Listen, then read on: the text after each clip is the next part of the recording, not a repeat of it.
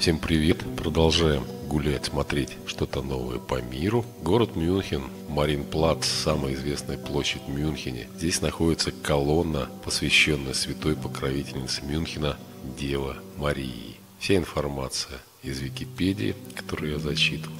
Ну и вот кое-что поснимал тут. Колонна Марии, благодарственная колонна, стоит в центре площади с 1638 года. В 1632 году, во время 30-летней войны, Мюнхен был захвачен шведами. Чтобы уберечь Мюнхен от пожара и разграбления, Курфюст Максимилиан I дал обед совершить богоугодное дело, поставить в центре рыночной площади Мюнхена колонну с изображением Богоматери. После завершения шведской оккупации в 1635 году началось возведение колонны Марии. 8 ноября 1638 года, в годовщину победы на Белой горе под Прагой 1620 года, колонна Мария была освящена. Это 11-метровая коринфская статуя на высоком мраморном пьедестале, вносящая в небеса фигуру Девы Марии. Фигура Девы Марии выше человеческого роста была создана мастером Хубертом Герхардом. Дева Мария представлена как Царица Небесная, стоящая на полумесяце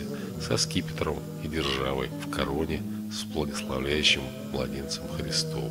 У подножия колонны Марии борются четыре ангела, герои в панцирях, шлемах, вооруженные стрелами и мечами против дракона, символа голода, льва, олицетворения войны, змеи, неверия и Василиска, петух со змеиным хвостом, символ чумы.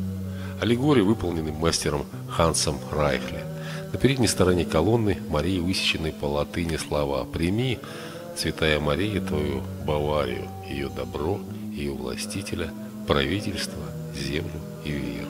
Во время Второй мировой войны статую убрали, и вновь перемещена она была уже в 1945 году на место. Данная колонна занесена в список памятников архитектуры Мюнхена. Ну вот и все. Всем привет. Всем пока. До свидания. Сегодня мы посмотрели на колонну, посвященную святой покровительнице Мюнхена, Деве Марии. Пока-пока, до свидания.